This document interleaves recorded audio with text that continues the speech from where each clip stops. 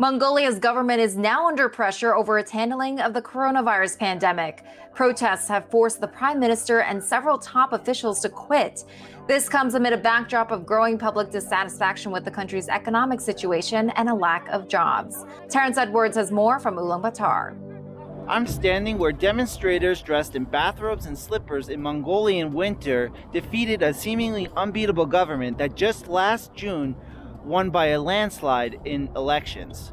Patience is running thin in Mongolia with its heavy handed COVID 19 lockdown and restrictions. That includes a ban on the border, service sector workers being asked to stay home without any cash assistance, and restricted travel into the country, leaving some stranded and homeless.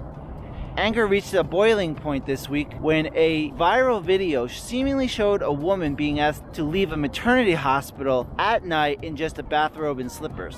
Protests followed the next day, with demonstrators in solidarity wearing bathrobes and slippers, asking for the resignation of top officials. And that came from Mongolia's health minister, but Mongolia's prime minister said, no, we've had enough. He resigned, ending his government. And Terrence joined us now from the capital. Terrence, what's happening there? Give us the latest. Hi. So, Mongolia at this point has seen its prime minister resign last week following protests for the COVID 19 response. We have a new appointee, appointee for the next prime minister, and from Monday, we'll be waiting for confirmation from the parliament. In terms of COVID, I thought the number of cases were relatively low, right? I think two recorded deaths so far. Why are people so angry?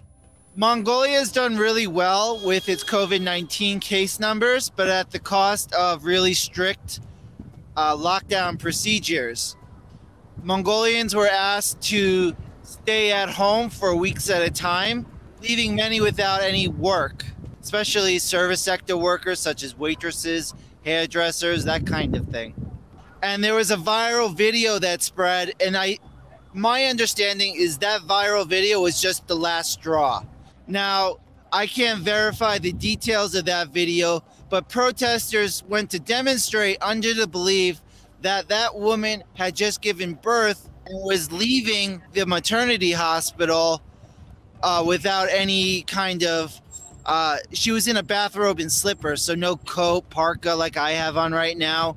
And the temperatures were, as I recall, even colder than they were right now. And I'm standing with my parka hood and my scarf. So, what's next for the government? What does this instability mean for Mongolia? So, it's important to remember this is an election year for the presidential office.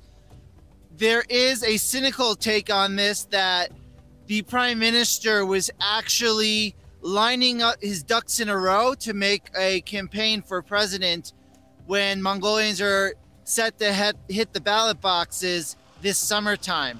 The president was mentioned in the prime minister's resignation speech. He accused the president of having a hand in some of these protests. Now, I was at those protests. It looked very authentic and organic to me, but we should always remember with protests that anyone can join with any agenda. So there is that on the table as well.